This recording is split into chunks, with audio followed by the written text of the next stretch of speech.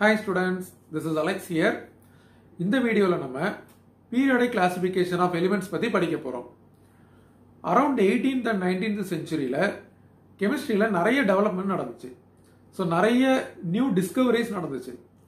So about eighteen சிக்ஸ்டீஸில் பார்த்தீங்கன்னா ஒரு சிக்ஸ்டி எலிமெண்ட்ஸை வந்து சயின்டிஸ்ட் டிஸ்கவர் பண்ணியிருந்தாங்க. அதோட அட்டாமிக் மாஸும் மெஷர் பண்ணி வச்சுருந்தாங்க.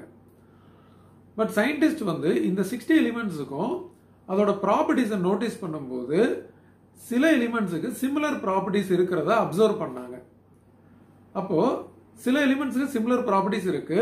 At the same time new new elements வந்து டிஸ்கவர் பண்ணிட்டே இருந்தாங்க. அந்த நியூ எலிமெண்ட்ஸுக்கும் டிஃப்ரெண்ட் டிஃப்ரெண்ட் ப்ராப்பர்ட்டிஸ் இருக்கிறத அப்சர்வ் பண்ணாங்க. ஸோ இப்போ நமக்கு நிறைய எலிமெண்ட்ஸ் வரும்போது ஒவ்வொரு எலிமெண்ட்ஸோட ப்ராப்பர்ட்டியை பற்றி தனித்தனியாக படிக்கிறது ரொம்ப கஷ்டம். இப்போ ஒரு ஃபியூ எலிமெண்ட்ஸ் இருக்குது அப்படின்னா நம்ம அதை வந்து இந்தந்த எலிமெண்ட்டுக்கு இந்த ப்ராப்பர்ட்டி அப்படின்னு சொல்லி நம்ம படிச்சிடலாம். பட் நிறைய எலிமெண்ட்ஸ் வரும்போது நம்ம இண்டிவிஜுவலாக ஒவ்வொரு எலிமெண்ட்டை ஃபோக்கஸ் பண்ணி இந்த எலிமெண்ட்ஸோட ப்ராப்பர்ட்டி இது அப்படின்னு படிக்கிறது ரொம்ப கஷ்டமான விஷயம். அண்ட் மோரோவர் சில எலிமெண்ட்ஸுக்கு சிமிலரான ப்ராப்பர்ட்டிஸ் இருக்கிறத சயின்டிஸ்ட் அப்சர்வ் பண்ணனால இந்த எலிமெண்ட்ஸ் எல்லாம் அரேஞ்ச் பண்ணால் நல்லா இருக்கும். இதை அரேஞ்ச் பண்ணிட்டா சிமிலர் ப்ராப்பர்ட்டிஸ் இருக்கிற எலிமெண்ட்ஸ் எல்லாம் ஒன்றா அரேஞ்ச் பண்ணிட்டா நம்ம அந்த ப்ராப்பர்ட்டிஸ் வந்து ஈஸியாக படிச்சிடலாம் அப்படின்னு நினச்சி சயின்டிஸ்ட் வந்து ஒரு எலிமெண்ட்ஸ் எல்லாம் குரூப்பிங் பண்ண ஆரம்பிச்சாங்க. அதுதான் நம்ம குரூப்ஸ் அப்படின்னு சொல்லுவோம். ஒவ்வொரு ஒரு குரூப் அப்படின்னா அதில் சர்டன் எலிமெண்ட்ஸ் இருக்கும். அந்த சர்டன் எலிமெண்ட்ஸுக்கு ஒரே மாதிரியான ப்ராப்பர்ட்டிஸ் இருக்கும். வித் ஒரு சின்ன சின்ன வேரியேஷன்ஸ் இருக்கும். பட் ஜென்ரலாக இந்த குரூப் அப்படின்னா அதுக்குன்னு ஒரு சில ப்ராப்பர்ட்டிஸ் இருக்கும். ஸோ இதை மாதிரி அரேஞ்ச் பண்ண ஆரம்பிச்சாங்க. ஸோ லேட்டர் இந்த எலிமெண்ட்ஸ் எல்லாத்தையும் ஒரு குரூப்ஸ் அண்ட் பீரியட்ஸாக அரேஞ்ச் பண்ணனா இந்த ப்ராப்பர்ட்டிஸை படிக்கிறது ஈஸியாக இருக்கும். அப்போது இதை அரேஞ்ச் பண்ணுறதுக்கு ஒரு சயின்டிஃபிக் வேலை நம்ம பண்ணணும். அது ஒரு லாஜிக்கல் வேலை இருக்கணும் அப்படின்னு சொல்லி சயின்டிஸ்ட் வந்து நிறைய அட்டம்ப்ட்ஸ் பண்ணாங்க. ஸோ ஓல்டன் டேஸில் பார்த்தீங்கன்னா லார்ஜ் நம்பர் ஆஃப் அட்டம்ப்ட்ஸ் பண்ணி அதில் ஒரு சில ட்ராபேக் இருக்கும். அதுக்கப்புறம் வேறு மாதிரி அரேஞ்ச் பண்ணாங்க. ஸோ இது மாதிரி நிறைய அட்டம்ப்ட்ஸ் பண்ணி அதை அரேஞ்ச் பண்ண ஆரம்பித்தாங்க ஸோ அதை பற்றி இப்போ நம்ம பார்க்கலாம். One of the earlier atom வந்து மெண்டலிவ் பீரியாடிக் டேபிள் இந்த மெண்டலிக் பீரியாடிக் டேபிளில் பார்த்தீங்கன்னா அந்த எலிமெண்ட்ஸ் எல்லாம் according to the atomic mass படி அரேஞ்ச் பண்ணியிருப்பாங்க. இப்போ நம்ம லைனாக ஒவ்வொரு எலிமெண்ட்டாக வரும்போது increasing order of the atomic mass இருக்கும். பட் இதில் ஒரு சில டிராபேக் இருந்துச்சு. ஃபார் எக்ஸாம்பிள் இப்போ நம்ம ஆர்கான் அண்ட் பொட்டாசியம் எடுத்துக்கிட்டோம் அப்படின்னா ஆர்கான் வந்து thirty nine point nine five atomic mass unit and potassium வந்து thirty nine point one zero atomic mass unit so நம்ம increasing order of atomic mass பண்ணும்போது potassium வந்து முதல்ல வரும் ஆர்கான் வந்து அதுக்கு அடுத்தது வரும். பட் இந்த வேலை பிளேஸ் பண்ணால் ஆர்கான் வந்து எந்த குரூப்பில் வரும் அப்படின்னு பார்த்தீங்கன்னா இந்த லித்தியம் சோடியம் இருக்கிற குரூப்பில் வந்துடும் ஏன்னா நமக்கு லித்தியம் சோடியம் பொட்டாசியம் அந்த ஆர்டரில் தான் குரூப் இருக்குது பட் ஆர்கான் அந்த இடத்துல வந்துருச்சு அப்படின்னா அந்த ப்ராப்பர்ட்டியே வந்து கொலாப்ஸ் ஆகிடும் ஏன்னா ஆர்கான் வந்து ஒரு கம்ப்ளீட்லி ஃபில்டு ஆர்பிட்டால் இருக்கும். அது வந்து டோட்டலி நான் ரியாக்டிவ் பட் இந்த லித்தியம் சோடியம் பொட்டாசியம்லாம் பார்த்தீங்கன்னா ஹைலி ரியாக்டிவ் ஸோ நம்ம இன்க்ரீசிங் ஆர்டர் ஆஃப் அட்டாமிக் மாஸில் வைக்கும்போது நம்ம இந்த ஆர்கானை வந்து அது ஒரு நான் ரியாக்டிவ் இருக்கிறத வந்து இந்த லித்தியம் சோடியத்தோட வச்சா அந்த ப்ராப்பர்ட்டிஸ் வந்து ஃபுல்லாக சாட்டிஸ்ஃபை ஆகாது. அப்போ இதில் வந்து ஒரு ட்ராபேக் வருது. நம்மளால அரேஞ்ச் பண்ண முடியல. அப்போ சயின்டிஸ்ட் என்ன பண்ணாங்க அப்படின்னு பார்த்தீங்கன்னா நம்ம அட்டாமிக் மாஸ் வச்சு அரேஞ்ச் பண்ணோம். பட் இந்த மாதிரி ப்ராப்ளம் வருது. அப்போது அட்டாமிக் மாஸை தவிர வேற ஏதோ ஒரு பேசிக் ப்ராப்பர்ட்டியை வச்சு அரேஞ்ச் பண்ணணும் அப்படின்ற கன்க்ளூஷனுக்கு வந்தாங்க.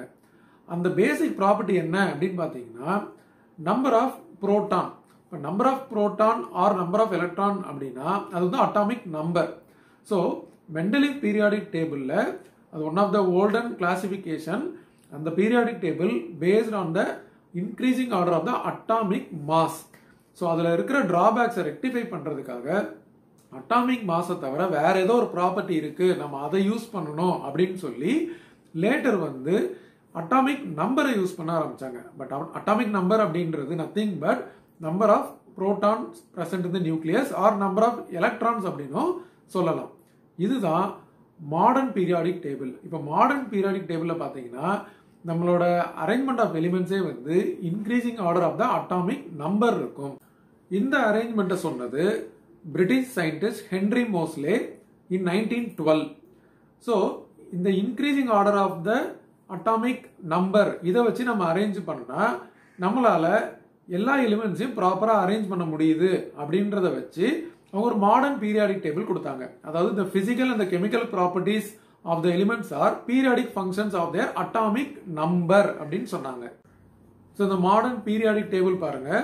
இதுல எல்லா எலிமெண்ட்ஸும் வந்து increasing order of atomic number இருக்கும். So atomic number one first இருக்கும். அதுக்கப்புறம் அட்டாமிக் நம்பர் டூ அதுக்கப்புறம் அட்டாமிக் நம்பர் த்ரீ அது மாதிரி இன்க்ரீசிங் ஆர்டர்ல அரேஞ்ச் பண்ணி இருக்கும் இதுல ஒரு எலிமெண்ட் எடுத்தீங்கன்னா இதுல அட்டாமிக் நம்பர் வந்து ஒரு கார்னர்ல கொடுத்துருப்பாங்க. அதாவது லெஃப்டில் டாப் கார்னரில் அட்டாமிக் நம்பர் இருக்கும். ரைட் டாப் கார்னரில் பார்த்தீங்கன்னா அட்டாமிக் மாஸ் இருக்கும். நடுவில் வந்து அந்த எலிமெண்ட்டோட சிம்பல் கொடுத்துருப்பாங்க. அண்ட் அதுக்கு கீழே அந்த எலிமெண்ட்டோட நேம் கொடுத்துருப்பாங்க. ஸோ இந்த வேலை இந்த கண்டுபிடிச்ச டிஸ்கவர் பண்ண எல்லா எலிமெண்ட்ஸையும் ப்ராப்பராக ஒரு குரூப்ஸ் அண்ட் பீரியட்ஸாக அரேஞ்ச் பண்ணி கொடுத்துருக்காங்க. இப்போ நம்ம ஒரு குரூப் எடுத்தோம் அப்படின்னா அது எல்லாத்துக்கும் வந்து ஒரு சிமிலர் ப்ராப்பர்ட்டிஸ் இருக்கும். அப்போ நம்ம கண்டுபிடிச்ச எல்லா எலிமெண்ட்ஸையும் வந்து நம்ம ப்ராப்பராக அரேஞ்ச் பண்ணியாச்சுன்னா இப்போ ஒரு ஒரு குரூப் எடுத்து அதில் இருக்கிற ஒரு எலிமெண்ட்டோட ப்ராப்பர்ட்டியை படிச்சாவே அந்த ரிமைனிங் எலிமெண்ட்ஸ் எல்லாமே அதுக்கு சிமிலர் ப்ராப்பர்ட்டிஸாக தான் இருக்கும். அப்போ சயின்டிஸ்ட் வந்து இப்போ ஏதாவது ஒரு புதுசாக ஒரு எலிமெண்ட்ஸ் கண்டுபிடிக்கிறாங்க அப்படின்னா இந்த இன்க்ரீசிங் ஆர்டர் ஆஃப் அட்டாமிக் நம்பரில் கண்டுபிடிக்கிறாங்க அரேஞ்ச் பண்ணியிருக்காங்க இல்லையா? அப்போ ஒரு புது எலிமெண்ட்டோட அட்டாமிக் நம்பருக்கு ஏற்ற மாதிரி இங்கே அரேஞ்ச் பண்ணிட்டாங்க அப்படின்னா ஆல்ரெடி அந்த குரூப்ல என்ன ப்ராப்பர்ட்டி இருக்கோ அதே ப்ராப்பர்ட்டி தான் இந்த நியூ எலிமெண்ட்ஸுக்கும் இருக்கும். அப்போ கண்டுபிடிக்காத ஒரு எலிமெண்ட்ஸோட ப்ராப்பர்ட்டிஸ் கூட அது என்ன அப்படின்றத இந்த அரேஞ்ச்மெண்ட் மூலம் நம்ம தெரிஞ்சுக்கலாம். ஸோ இது வரைக்கும் சயின்டிஸ்ட் வந்து ஹண்ட்ரட் அண்ட் எயிட்டீன் எலிமெண்ட்ஸை டிஸ்கவர் பண்ணி அதை அரேஞ்ச் பண்ணியிருக்காங்க. இன்னும் ஃபியூச்சரில் வேற ஏதாவது டிஸ்கவர் பண்ணாலும் இந்த பீரியாடிக் டேபிள் மூலம் அது எந்த இடத்துல வரும் அப்படின்றத வச்சு அதோட ப்ராப்பர்ட்டிஸ் என்னவா இருக்கும் அப்படின்றதையும் நம்ம தெரிஞ்சுக்கலாம். ஸோ இதுதான் மாடர்ன் பீரியாடிக் டேபிள்